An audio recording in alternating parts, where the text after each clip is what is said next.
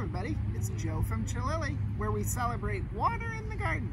Today I want to share with you a spectacular choice for you to consider adding to your water feature. It's Nymphaea arc-en-ciel. Arc-en-ciel is an old variety, and what makes it unique is the foliage. Arc-en-ciel is a perennial water lily. It'll come back here in St. Louis and all the way through zone three.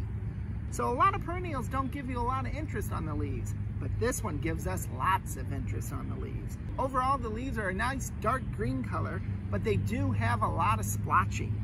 This particular one's got a lot of cream in it. The anthers are nice golden yellow and really draw your attention to the center of that flower, just like it does for the bees.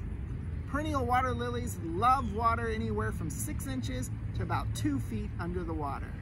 They do like it still. So when we say still, that just means we don't want an area where there's water splashing on top of the foliage.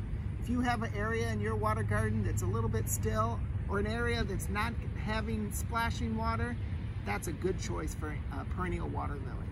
Arc-en-ciel takes full sun to just a couple hours of shade. It really performs best in full sun.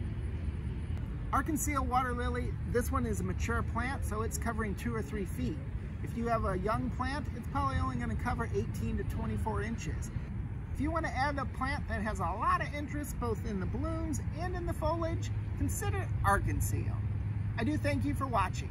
Check us out at chalily.com, Facebook, or Instagram.